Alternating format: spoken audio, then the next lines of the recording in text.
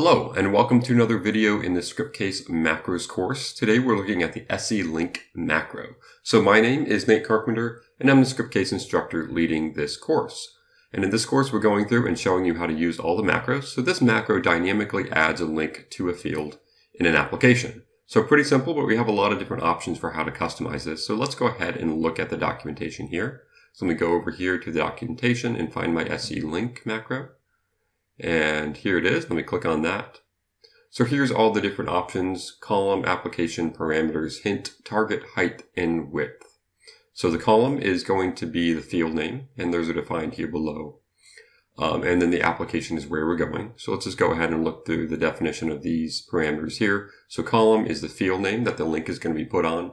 The application is the, is the place we're going to. And the parameters are some options um, for variables that we're going to pass through. So they can be um, done with the equal sign. So uh, variable x is going to equal value x, and then we can have multiple parameters by separating them with a semicolon, like it says here. And then there's a hint. We can put some text for a hint. So when we uh, pop over something, when we uh, hover over it, it's going to pop up something.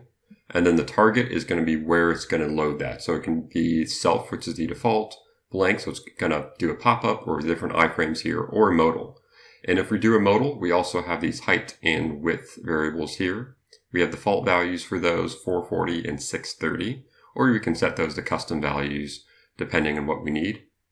And um, as I said before, the default value is self if we leave that blank. So here's some different options for how to do that and where to do it um, and some different examples uh, here. So let's go ahead and get started with this. So I have a grid set up here, but let me show you a database diagram so, I, so you can see how this link works.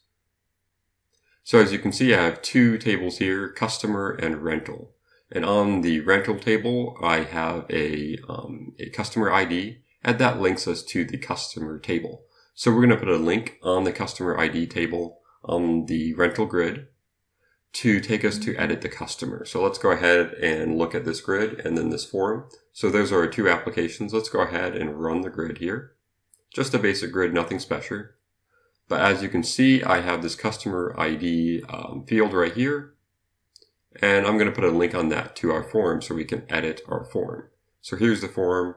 Again, just a basic form that we can edit a customer on. So let's go ahead then and let's copy one of these examples here. I'm going to copy um, one of these, but and we're going to put it on the on record event. So that's when the record loads on the grid. Let's copy this one right here, and then we can modify it to work with our application.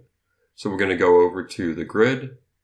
We're going to go um, to events, but first we need to see there's that customer ID field that we're going to put the link on. We're going to go to the on record event. And let me paste this here. So the first option is the column that we're going to put it on. So that column, that's going to be the field name. So that is customer ID, customer underscore ID right here.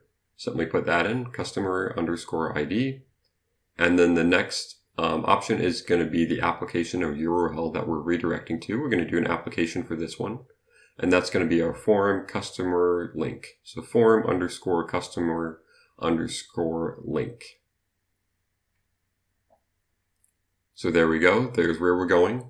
Now we need to pass through the parameters. All we need is that customer ID. So the customer ID um, is going to be the name of that field that we're passing through on the other application.